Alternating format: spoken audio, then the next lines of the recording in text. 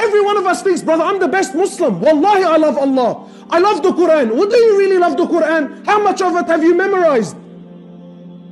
I'm 33. Uqsam billah, I'm embarrassed to tell you how much Quran I've memorized. Wallahi, I'm embarrassed to tell you.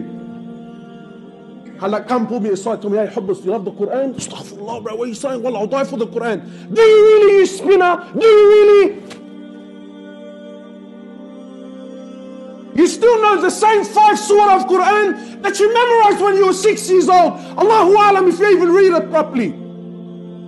30 years of life has passed you and you haven't increased a single verse of Quran. And you want to come play the violin and tell me how much you love the Quran. Habibi, look, you're not standing in front of me, you're standing in front of Allah.